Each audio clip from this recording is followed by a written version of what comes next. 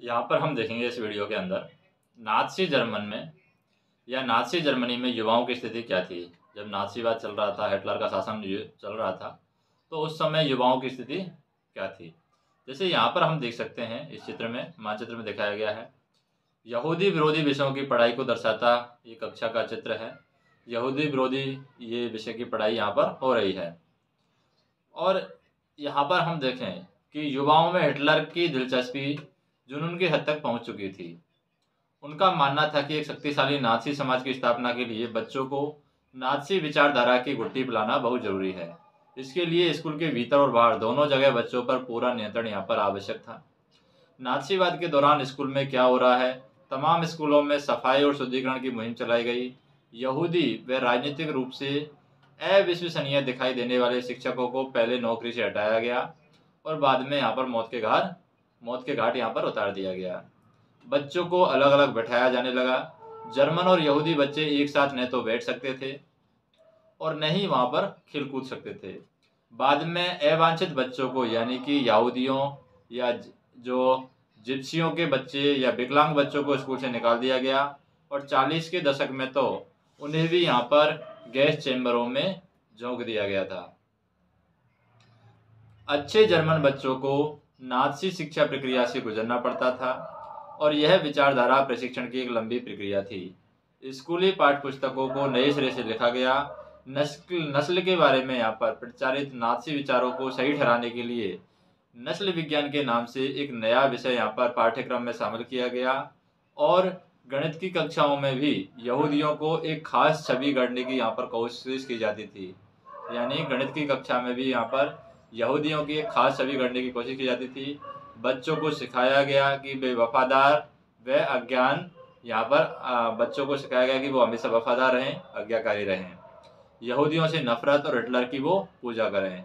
खेल कूद के ज़रिए भी बच्चों में हिंसा और आक्रामकता की भावना पैदा की जाती थी। हिटलर का मानना था कि मुक्केबाजी का प्रशिक्षण बच्चों को फौलादी दिल वाला ताकतवर ताकतवर और मर्दाना यहाँ पर बनाता है। बाकी बच्चों की हँसी टटोली के बीच में यहूदी शिक्षक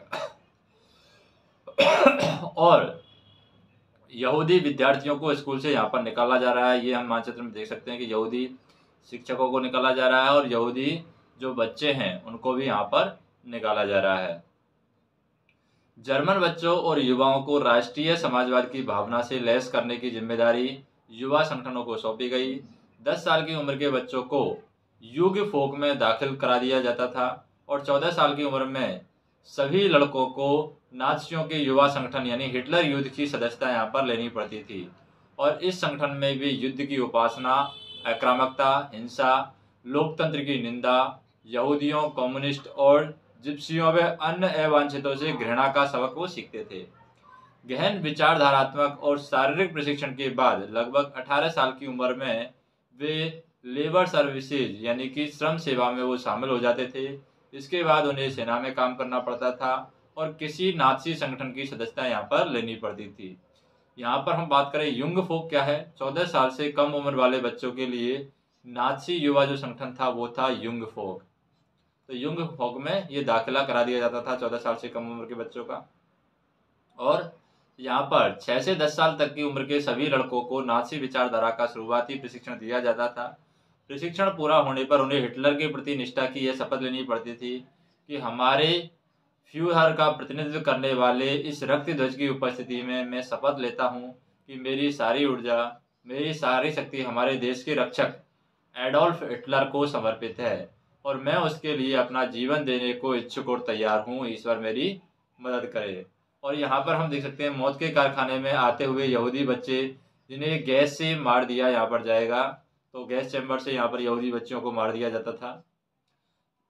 नेक्स्ट हम देखें यहाँ पर जर्मन लेबर फ्रंट के प्रमुख रॉबर्ट ले ने यहाँ पर कहा था कि हम तभी से काम शुरू कर देते हैं जब बच्चा तीन साल का होता है।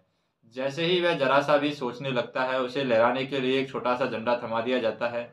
इसके बाद स्कूल, हिटलर यूथ, सैनिक सेवा का नंबर आता है, लेकिन यह सब कुछ पूरा हो जाने के बाद भी हम किसी को छोड़ते नहीं हैं। लेबर फ्रंट उन्हें अपनी गिरफ्त में ले लेता है, चाहे उसे अच्छा लगे या बुरा। कब्र तक उनका पीछा यहाँ पर नहीं छोड़ता। तो यहाँ पर हम बासित जो वांछित बच्चे हैं, जिनकी संख्या हिटलर बढ़ाना चाहता है, वो ये हैं। और कब्जे वाले यूरोप से अधिकृत पोलैंड में बसाने के लिए भेजा जा रहा है एक शिशु अपनी माँ के साथ यहाँ पर दिखाया गया है। तो नाथसी यूथ लीग का जो गठन है, वो कब हुआ था? 1922 में हुआ था। चार साल बाद उसे हिटलर यूथ का नाम यहाँ पर दिया गया। 1933 तक आते आते इस संगठन में 12.5 लाख से ज़्यादा बच्चे थे और युवा आंदोलन को नाथसीवाद के तहत एकजुट करने के लिए बाकी सभी युवा संगठनों को पहले भंग कर दिया गया और बाद में उन पर यहाँ पर प्रतिबंध लगा दिया जाता है। मातृत्व की नाथसी सोच की अगर हम बात करें, मातृत्व की नाथसी सोच किस तरीके से बढ़ रही थी? नाथसी जर्मनी में प्रत्येक बच्चे को बार बार यह बताया जाता था कि औरत बुनियादी तौर पर मर्दों से भिन्न होती है। और उन्हें समझाया जाता था कि औरत मर्द के लिए समान अधिकारों का संघर्ष गलत है। यह समाज को नष्ट कर देगा और इसी आधार पर लड़कों को आक्रामक मर्दाना और पत्थर दिल होना सिखाया जाता था, जबकि लड़कियों को यह कहा जाता था कि उनका फ़र्ज़ एक अच्छी माँ बनना है, शुद्ध आर्य रक्त वाले बच्चों को जन्म देना है और उनका पालन पोषण करना है। नस्ल की शुद्धता बनाए रखने और यहूदियों से दूर रहने और घर संभालने और बच्चों को नाथसी मूल्य मान्यताओं को शिक्षा देने का दायित्व उन्हें भी सौंपा गया। आर्य संस्कृति और नस्ल की ध्वजवाहक वही भी, वही कही गई थी यहाँ पर। नेक्स्ट हम बात करें। न्यूरमबर्ग पार्टी रैली में औरतों को संबोधित करते हुए यहाँ पर 5 सितंबर 1934 को हिटलर ने कहा था कि हम इस बात को अच्छा नहीं मानते हैं कि औरत मर्द की दुनिया में उनके मुख्य दायरे में दखल दे। हमारी नज़र में यह कुदरती बात है कि दोनों दुनिया एक दूसरे से अलग है, दोनों की दुनिया है, वो एक दूसरे से अलग है। जिस तरह मर्द अपने सास के रूप में युद्ध के मोर्चे पर अपना सर्वस्व नौछावर कर देता है, उसी तरह औरत अपने अनंत आत्म बलिदान अनंत पीड़ा और दर्द के रूप में अपना योगदान देती है। हर बच्चा जो औरत संसार में लाती है, वह उसके लिए एक युद्ध ही है और अपने समाज को ज़िंदा रखने के लिए औरत जोड़ा छिड़ा गया ये युद्ध है। 1933 में हिटलर ने कहा था कि मेरे राज्य की सबसे महत्वपूर्ण नागरिक माँ है। लेकिन नाथसी जर्मनी में सारी माताओं के साथ ही ऐसा एक जैसा बर्ताव यहाँ पर नहीं होता था। जो औरतें नस्ली तौर पर अवांछित बच्चों को जन्म देती थी, उन्हें यहाँ पर दंडित किया जाता था। जबकि नस्ली तौर पर वांछित दिखने वाले बच्चों को जन्म देने वाली माताओं को यहाँ पर इनाम दिए जाते थे। और ऐसी माताओं को अस्पताल में विशेष सुविधाएँ दी जाती थी। दुकानों में उन्हें ज़्यादा छूट मिलती थी। थिएटर और रेलगाड़ी के टिकट उन्हें सस्ते में मिलते थे। हिटलर ने खूब सारे बच्चों को जन्म देने वाली माताओं को, या माताओं के लिए वैसे ही तमगे देने का इंतज़ाम किया, जिस तरह के तमगे सिपाहियों को यहाँ पर दिए जाते थे। चार बच्चे पैदा करने वाली माँ को कोसे का कांसे का यहाँ पर, जो जो माँ चार बच्चे पैदा करती थी, उसको कांसे का छः बच्चे पैदा करने वाली माँ को चांदी का और आठ या उससे ज़्यादा बच्चे पैदा करने वाली माँ को सोने का तमगा यहाँ पर दिया जाता था। निर्धारित आचार संहिता का उल्लंघन करने वाली आर्य औरतों की सार्वजनिक रूप से निंदा की जाती थी। उन्हें यहाँ पर कड़ा दंड दिया जाता था। बहुत सारी औरतों को गंजा करके, मुँह पर काले पोत करके, उनके गले में तख्ती लटका करके पूरे शहर में घुमाया जाता था और उनके गले में तख्ती लटकी पर लिखा था कि, मैंने राष्ट्र के सम्मान को मलिन किया है और इस आपराधिक कृत्य के लिए बहुत सारी औरतों को न केवल जेल की सजा हुई है, बल्कि उनसे तमाम नागरिक सम्मान और उनके पति और परिवार भी यहाँ पर छीन लिए गए हैं। उसके बाद में न्यूरेमबर्ग पार्टी रैली 8 सितंबर 1934 को ही हिटलर ने यह कहा, यह भी कहा था कि औरतें किसी समुदाय के संरक्षण में सबसे स्थिर तत्व है। उसे इस बात की सबसे अच्छी तरह पता है कि अपनी नस्ल को खत्म होने से बचाने के लिए क्या क्या चीज़ें महत्वपूर्ण होती हैं, क्योंकि उसी के बच्चे हैं जो इस सारी पीड़ा से सबसे पहले प्रभावित होते हैं। इसलिए हमने नस्ली समुदाय के संघर्ष में औरत को ही वही जगह दी है, जो प्रकृति और नियति के अनुसार है।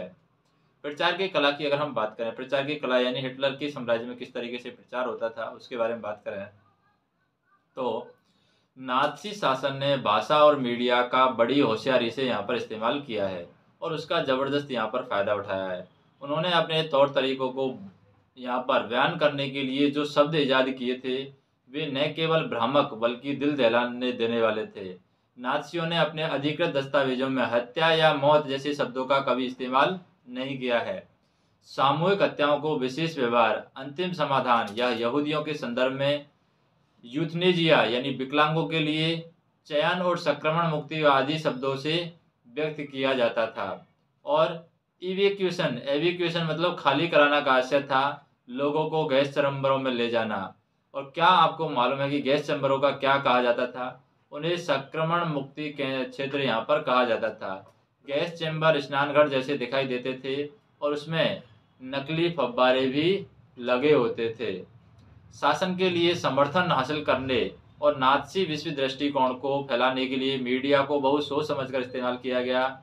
नाथसी विचारों को फैलाने के लिए तस्वीर, फ़िल्मों, रेडियो, पोस्टर, आकर्षक नारों और इश्तहारी पर्चों का खूब सहारा लिया गया।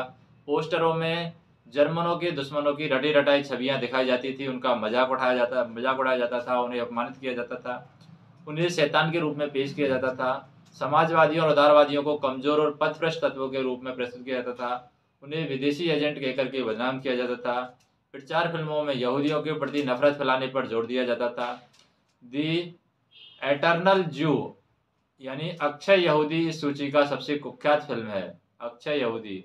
और परंपरा परंपरा प्रिय यहूदियों को खास तरह की छवियों में पेश किया जाता था। उन्हें दाढ़ी बढ़ाए और काफ्तान यानी चौंगा पहने दिखाया जाता था, जबकि वास्तव में जर्मन यहूदी और बाकी जर्मनियों के बीच में कोई फ़र्क करना असंभव था, क्योंकि दोनों समुदाय एक दूसरे से काफ़ी घुले मिले थे।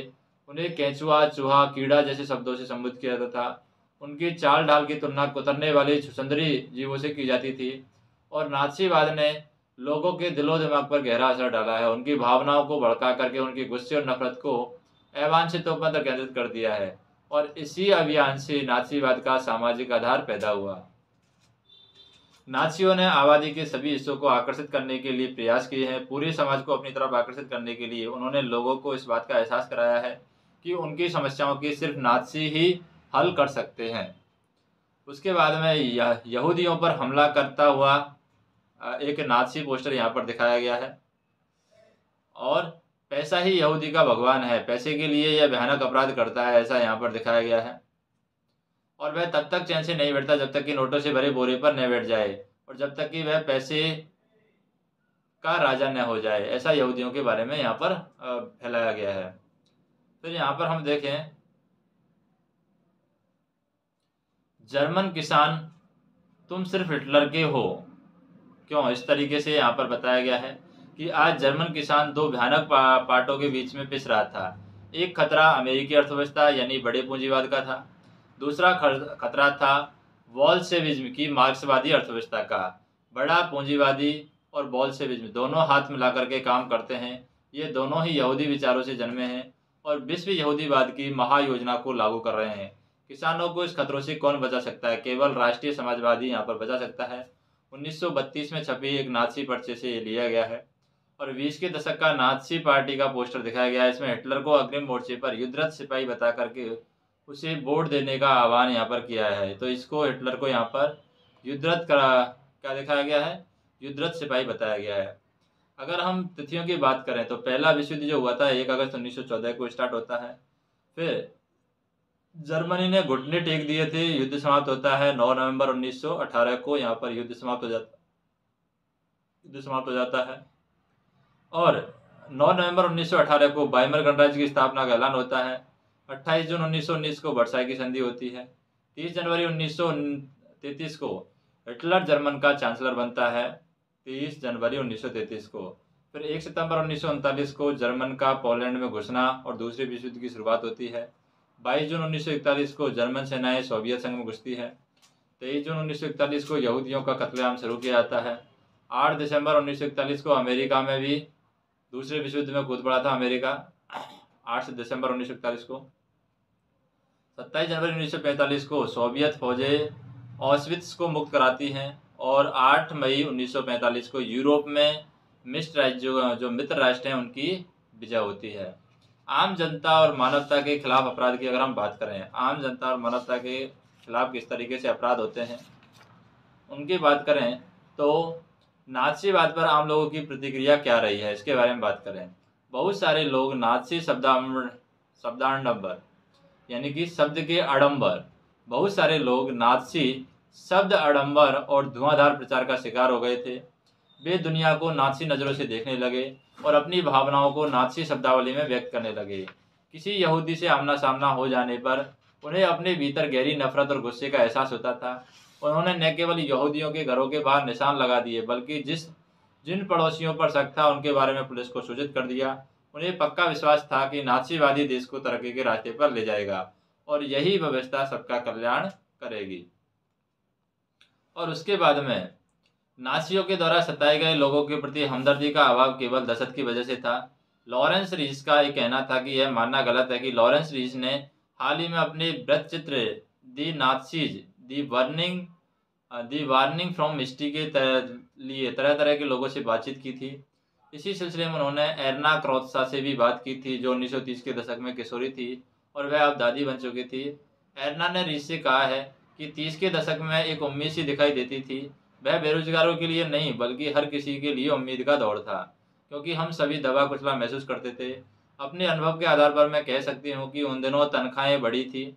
जर्मनी को मानो अपना उद्देश्य दोबारा मिल गया था। कम से कम मुझे तो यही लगता था और ये वह अच्छा दौर था, मुझे अच्छा लगता था।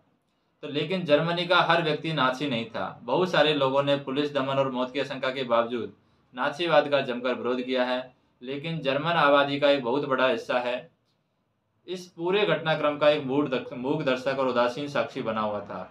लोग कोई विरोधी कदम उठाने, अपना मतभेद व्यक्त करने नासीवाद का विरोध करने से डरते थे। वे अपने दिल की बात कहने की बजाय आँखें फेर करके चल देता चल देना ज़्यादा बेहतर मानते थे। पादरी निमियोलर ने नाथसियों का लगातार विरोध किया है। उन्होंने पाया है कि नाथसी साम्राज्य में लोगों पर जिस तरह के निर्मम और संगठित जुल्म किए जा रहे हैं, उनका जर्मनी की आम जनता विरोध नहीं कर सकती। जनता एक अजीब सी खामोशी में डूबी हुई है और गोश्तापों की दहशतनाक कार्यशैली और कुकृत्यों पर निशाना साधते हुए इस खामोशी के बारे में उन्होंने बड़े मर्म स्पर्शी ढंग से लिखा है कि पहले वे कम्युनिस्टों को ढूंढते आए हैं। मैं कम्युनिस्ट नहीं था, इसलिए मैंने कुछ नहीं कहा। फिर वे सोशल डेमोक्रेट्स को ढूंढते आए तो मैं सोशल डेमोक्रेट्स नहीं था, इसलिए चुप रहा। और उसके बाद वे ट्रेड यूनियन वालों को ढूंढते आए, पर मैं ट्रेड यूनियन नहीं था। और फिर वे यहूदियों को ढूंढते आए, लेकिन मैं यहूदी नहीं था, इसलिए मैंने कुछ नहीं किया। और फिर अंततः जब वह मेरे लिए आए, तब वहाँ कोई नहीं बचा था, जो मेरे साथ यहाँ पर खड़ा हो सके। तो यहाँ पर हम बात करें नाथसी जर्मनी में यहूदी क्या महसूस करते थे? यह एक बिल्कुल अलग कहानी थी। सार्लट वेराट ने अपनी डायरी में लोगों के सपनों को चोरी छिपे दर्ज किया था। और बाद में उन्होंने इस डायरी की पुस्तक के रूप में प्रकाशित किया है। पढ़ने वाले को झकझोर कर रखने वाली इस पुस्तक का नाम है Third Reich of Dreams. Charlotte ने इस किताब में बताया है कि एक समय के बाद किस तरह खुद यहूदी भी अपने बारे में नासियों के द्वारा फैलाई जा रही रूढ़ी छवियों पर यकीन करने लगे। अपने सपनों में भी उन्हें भी अपनी नाक आगे से मुड़ी हुई, बाल व आँखें काली, यहूदियों जैसी शकल सूरत और चाल डाल यहाँ पर दिखने लगी। नाथसी प्रेस में यहूदियों की जो छवियाँ और तस्वीर छपती थी, वे दिन रात यहूदियों का पीछा कर रही थी। ये छवियाँ सपनों में भी उनका पीछा नहीं छोड़ती थी। बहुत सारे यहूदी गैस चैम्बर में पहुँचने से पहले ही यहाँ पर दम तोड़ देते थे। उसके बाद में, जैसे यहाँ पर वारसा गेंटो के निवासियों ने दस्तावेज़ इकट्ठा किया और उन्हें दूध के तीन टिनों में रख दिया। और जब यह तय दिखाई देने लगा कि अब सब कुछ तबाह हो जाएगा जाएगा तो उन्होंने 1943 में तीनों जो कनिस्तरों को अपने काल कोठरियों के तहखाने में दबा दिया। और ये कलस्तर 1950 में लोगों के हाथ लगे हैं। महाध्वंस के बारे में जानकारी की बात करें, होलोकास्ट के बारे में जानकारी कब होती है? तो नाथसी तौर तरीकों की जानकारी नाथसी शासन के आखिरी सालों में रिस रिस कर जर्मनी से बाहर जाने लगी, लेकिन वहाँ कितना भीषण रक्तपात और बर्बर दमन हुआ था, इसका असली अंदाज़ा तो दुनिया को युद्ध खत्म होने और जर्मनी के हार जाने के बाद ही लग पाया है। जर्मन समाज तो मलबे में दबे एक पराजित राष्ट्र के रूप में अपनी दुर्दशा से दुखी ही था, लेकिन यहूदी भी चाहते थे कि दुनिया उन भीषण अत्याचार और पीड़ाओं को याद रखे, जो उन्होंने नाथसी कत्लेआम में झेली थी। इन्हीं कत्लेआमों को महाध्वंस भी यहाँ पर कहा गया। जब दमन चक्र अपने शिखर पर था तो उन्हीं दिनों एक यहूदी टोले में रहने वाले एक आदमी ने अपने साथी से कहा था कि वह युद्ध के बाद सिर्फ़ आधा घंटा और जीना चाहता है। शायद वह दुनिया को यह बताकर जाना चाहता है कि नाथसी जर्मन में क्या क्या हो रहा था और जो कुछ हुआ उसकी गवाही देने और जो भी दस्तावेज़ हाथ आए उन्हें बचाए रखने के लिए एक अदम्य चाय खेटों और केपों में नागरीय या नारकीय जीवन भोगने वाले बहुत सारे या भोगने वाले बहुत गहरे तौर पर देखी जा सकती थी। उनमें बहुत ने डायरिया लिखी, नोटबुक लिखी, दस्तावेज़ के संग्रह बनाए, लेकिन इसके विपरीत जब यह दिखाई देने लगा कि अब युद्ध में नाचियों की पराजय तय है तो नाथसी नेतृत्व में दफ्तरों में मौजूद तमाम सबूतों को नष्ट करने के लिए अपने कर्मचारियों को पेट्रोल बांटना यहाँ पर शुरू कर दिया। तो डेनमार्क में अपने यहूदियों को चोरी छुपे जर्मनी से निकाल लिया और इस काम के लिए इस्तेमाल की गई नौकाओं में से एक यहाँ पर बताई गई है। दुनिया के बहुत सारे हिस्सों में स्मृति लेखों, साहित्य, वित्त, जो व्रत चित्र, शायरी, स्मारक, संग्रहालयों में महाध्वंस का इतिहास और स्मृति आज भी ज़िंदा है। ये सारी चीज़ें उन लोगों के लिए एक श्रद्धांजलि है जिन्होंने उस शायद दिनों में प्रतिरोध का यहाँ पर सांस दिखाया था, प्रतिरोध किया था। उन लोगों के लिए भी है ये सारी बातें। शर्मनाक यादगार हैं जिन्होंने ये जुल्म उठाए और जिनके लिए चेतावनी की आवाज़ें हैं, जो खामोशी से ये सब यहाँ पर देखते भी रहे हैं। उसके बाद में गांधी जी ने हिटलर को एक पत्र लिखा है, उसमें क्या लिखा है उसके बारे में अगर बात करें। गांधी जी ने जो हिटलर को पत्र लिखा था, हिटलर को गांधी जी का पत्र वर्धा, मध्य प्रांत, भारत, तेईस जुलाई उन्नीस को लिखा है प्रिय मित्र, मित्रों का यह आग्रह रहा है कि मानवता की खातिर मैं आपको कुछ लिखूं, लेकिन मैं उनके अनुरोध को अस्वीकार करता रहा हूँ। क्योंकि मैंने महसूस किया है कि मेरा आपको पत्र लिखना दृष्टता होगी, लेकिन मुझे कुछ ऐसा लगता है कि इस मामले में मुझे हिसाब किताब करना नहीं चलना चाहिए। मुझे आपसे अपील करनी चाहिए, चाहे वह जिस लायक हो। यह बात बिल्कुल स्पष्ट है कि आप संसार में आज गांधी जी का, हिटलर को गांधी जी का जो पत्र है, उसमें बताया गया है कि यह बात बिल्कुल स्पष्ट है कि आज संसार में आप ही एक ऐसे व्यक्ति हैं जो युद्ध को रोक सकते हैं, जो मानव जाति को बर्बर अवस्था में पहुँचा सकता है। क्या आपको किसी उद्देश्य के लिए इतना बड़ा मूल्य चुकाना चाहिए? फिर चाहे वह उद्देश्य आपकी दृष्टि में कितना भी महान क्यों ना हो। क्या आप एक ऐसे व्यक्ति की अपील पर ध्यान देंगे जिसने सोच समझ कर के युद्ध के तरीके का त्याग कर दिया है और इसमें से काफ़ी सफलता भी मिली है? जो भी हो, मैं यह मान लेता हूँ कि यदि मैंने आपको पत्र लिखकर कोई भूल की है तो इसके लिए आप मुझे क्षमा कर देंगे।